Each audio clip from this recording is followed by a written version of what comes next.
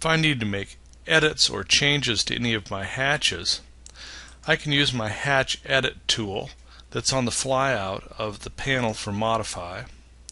It asks me to choose a hatch area. I'm going to choose uh, my roof hatch area and you'll notice that the hatch edit dialog box looks very similar to the hatch dialog box with a few minor changes. Now once I have this open with the hatch selected, I can make any kind of edits that I need to do, like change the scale for example. We're going to change the scale to 0.9 which will make those uh, roof shakes appear a little bit smaller and we'll accept that. I can also activate my hatch edit box by just going on top of any hatch, double clicking, and it will automatically open the hatch edit box. We'll look at how we could uh, edit a hatch or a fill if we remove an island, for example, from a hatched or filled area. In this case, I want to remove this window. So I'm going to click on the window, see the grip show up, hit delete on the keyboard to delete it. Now this uh, solid fill area, I'm going to click on that and delete it also. You can now see that I have actually what's left over is a hole in my uh, in my hatch and my fill area. Now I have two choices. I could either just delete each of the hatch and the fills and rehatch and refill the area or I can remove the boundaries for the object that I just deleted and that would heal or fill in this hole. So to do that I have to work with the hatch and the fill each. So I'm going to start with the hatch. I'll double click on this hatch to open up my hatch edit box. And the tool I want is to remove boundaries. I'll click on that and you can now see the boundaries that were established when we first hatched this whole area. Those were the boundaries that went around the window. I'll right click and say enter, I'll preview and now I'm filling that without because the boundaries have been removed. So we'll accept that with a right click. Now I need to work with the hatch. I'm going to double click on the hatch. Again, use remove boundaries because each of these, the hatch and the fill, each created their own set of boundaries. So now we've removed those. We can preview. It's filled that in. I'll right click to accept.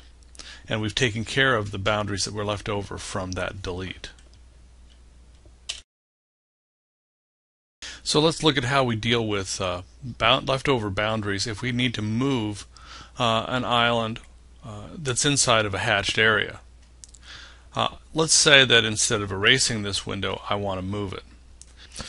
I'm going to select a move command and I want to select both the window block uh, and this solid fill. So I'm going to hit W on the keyboard to invoke a window which will allow me to select both of those items. And now I need a base point of displacement so I'll pick this lower corner and turn ortho on so that I can use direct distance entry to move this horizontally 4 feet. And now I don't have boundaries that are being honored by the hatch and fill that I have and I have these left over. So we need to deal with that. I'm going to start first with the hatch. I'll double click on the hatch itself to bring up my hatch edit box Whoops, didn't get my hatch edit box. Try that again. I'll double click on the hatch to bring up my hatch edit box. And I want to remove these boundaries. So I'll click on each one of them with my pick box and they're removed. But I need to add boundaries because I need to put put them over here.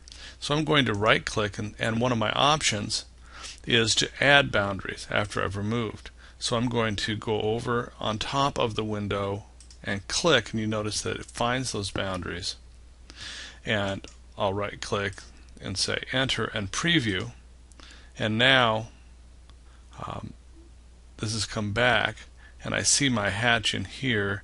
We're going to go ahead and right click and accept that. I'm going to uh, click on that hatch or double click on it because it uh, lost its place, I'm going to say bring that to the front. And now it's brought back in front of that, that uh, gradient fill.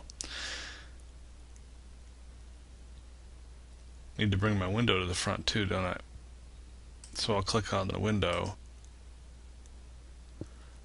Um, actually, what I'm going to do is I'm going to click on the window and use my tool, my modify tool, to bring to front. Now I have uh, I have this hole to deal with, so I'm going to get my filled area, double click on that, remove boundaries. Right click, say add boundaries, click in the edge of my window so it finds those. Uh, right click, enter, preview. That looks right. Hit the space bar and say OK. So now we have moved an object that was originally an island in a hatched and filled area and we have removed the old boundaries and added new boundaries. Of course we could have just deleted both the gradient fill and the hatch and then rehatch them uh, as another solution.